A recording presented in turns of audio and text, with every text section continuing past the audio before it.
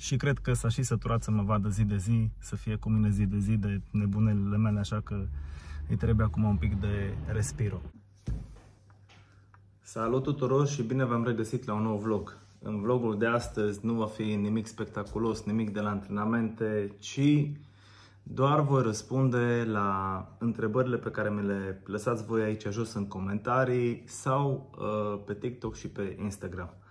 Multe dintre aceste întrebări au legătură cu Iancu, Afe, Tănase și cu Neveu.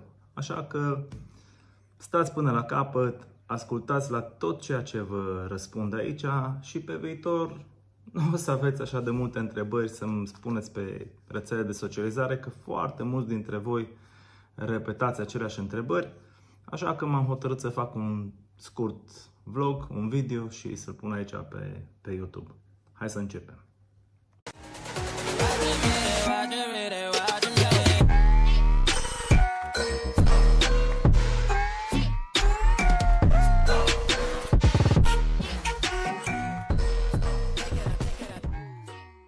M-ați tot întrebat că Robi, de ce l-ai pe Afu Tănase la tine în intro dacă vorbești așa de urât de tine?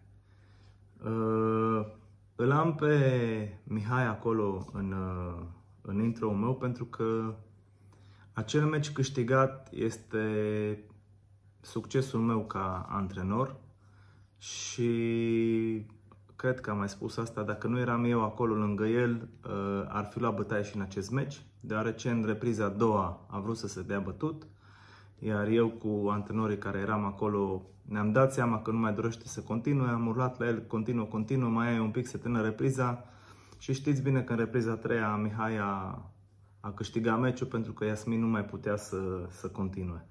Deci îl las acolo deoarece eu consider că este succesul meu ca antrenor în acel meci și îmi place să rămân acolo, să-mi amintească că oamenii nu sunt într-adevăr ceea ce, ce vedem noi, ci oamenii au uh, niște mm, intenții ascunse și pentru orice lucru care este în favoarea lor se schimbă și își joacă placa cum trebuie. Deci acela este succesul meu, îl consider succesul meu și de ce l-am lăsat în, în intro.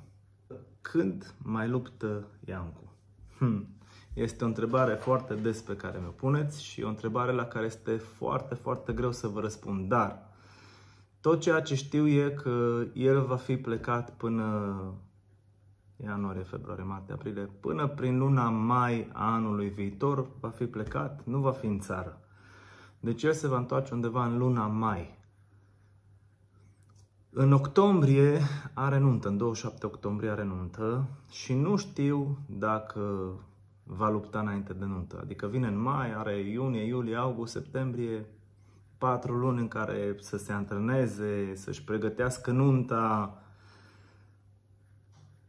Ceea ce cred eu și nu am vorbit cu el e că nu o să-l vedem luptând în anul 2024 sau dacă îl vom vedea luptând în anul 2024 va fi doar pe luna decembrie, cu toate că nu cred că nu va avea timp să se pregătească și nunta și meciul. Deci eu nu cred că va lupta în anul 2024, dar vom vedea pe, pe viitor.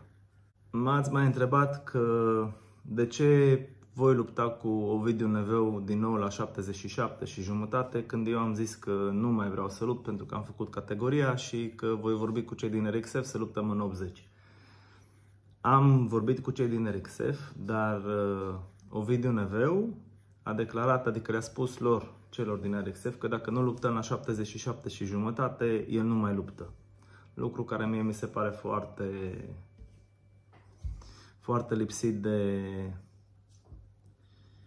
nici nu știu cum să, cum să lipsit de respect, adică n-ai făcut categoria, nu te-ai prezentat că ai fost bănav la primul meci, acum tot tu vii cu, cu, uh, cu cereri din astea. Mie tot ce mi se pare e că își caut o scuză ca să nu luptăm și atunci am zis ok, nicio problemă, luptăm din nou la 7, 7 și jumătate, mai fac eu încă o dată slăbire pentru că eu îmi doresc foarte mult acest meci și mi se pare că el își caută scuze și se leagă de foarte multe chichițe și foarte multe lucruri din astea mici, doar ca să nu lupte. Luptăm în 77 și jumătate, iar lupta va avea pe data de 11 decembrie în cadrul galei Eric Sev Next Fighter All Star. Una dintre cele mai întâlnite și cele mai frecvente întrebări este cu cine va lupta Iancu, dacă va lupta cu Meco, dacă va lupta cu, cu Fakiru sau dacă va fi o revanșă cu George. Uh, eu zic că o revanșă cu George ar merge pentru că meciul acesta a fost un meci foarte interesant, adică n-a fost doar uh, George, a fost și Iancu. Uh, eu tind să cred că Iancu într-o zi și în formă, într-o zi bună și în formă bună îl bate pe George, dar asta e părerea mea încă o dată. Și în legătură cu Fakiru și Meco, dacă tot s-a dat trendul că luptăm în categorii de greutate, ar trebui ca aceștia să facă o categorie de greutate, adică să scadă în 84 de kilograme și cred că Iancu va lupta cu ei. De ce să nu urce Iancu în kilograme? Pentru că Iancu are undeva la 83 de kilograme și când intră în antrenamente, în cele 2-3 luni în care se antrenează, crește în greutate, ajunge undeva la 85-86.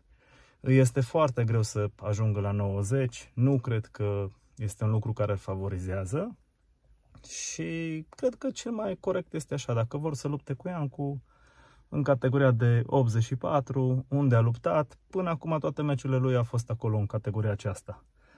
Dar, încă o dată, Iancu este cel care își alege adversarii. El alege cu cine luptă, el alege ce face, eu doar îl antrenez și respect alegerea. Multe din întrebările voastre îmi sunt adresate dacă voi mai lupta în uh, gala Eric Sev după acest meci cu Ovidiu Neveu. Momentan nu știu să vă răspund, știți că am doar pentru un singur meci am uh, primit bilet de voie. Uh, hai să trecem acest meci și după aceea vedem. Da, mi-aș mai dori să mai lupt, dar uh, nu știu sigur ce se va întâmpla în viitor. Prima dată, hai să facem acest meci, să aibă loc acest meci, să se prezinte cel cu care trebuie să lupt și după aceea mai vorbim.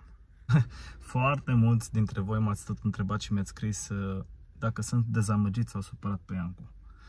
Nu am cum să fiu dezamăgit, nu am cum să fiu supărat, v-am mai spus, eu chiar sunt foarte bucuros că mă pot considera prieten de-a lui Iancu, nu doar antrenor, ci, ci chiar prieten. Și vă răspund cum răspund întotdeauna. Aceste competiții sportive sunt până la urmă niște competiții sportive, nu este sfârșitul lumii dacă pierzi sau câștigi.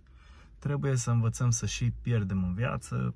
Competițiile sportive și sportul ne pregătește pentru viață. Nu tot ceea ce faci în viața de zi cu zi îți reușește.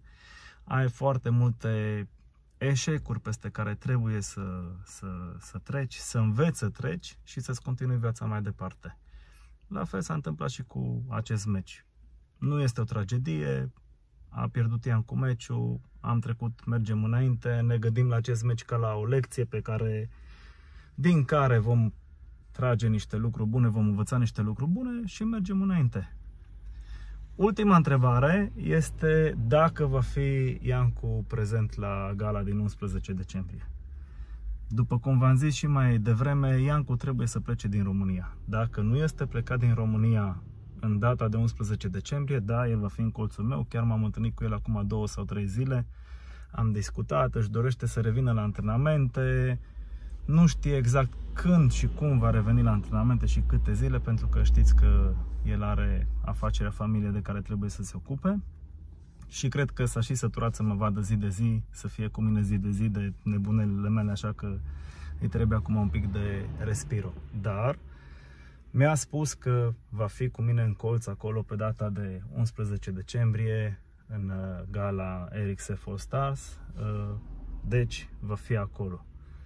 Bilete pentru această gală puteți să intrați pe site-ul celor de la Ericssef, o să, vedeți, o să vedeți acolo că au un link care vă, vă trimite direct la enterx.ro Puteți să cumpărați bilete, va fi o gală cu public, și nu știu, m-ați întrebat și chestia asta, nu știu dacă va fi la liber pe YouTube sau va trebui să plătiți uh, pay-per-view.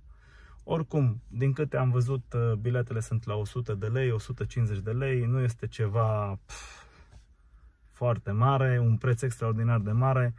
Dacă doriți să fiți prezenți la gală, aveți posibilitatea să faceți acum în data de 11 decembrie.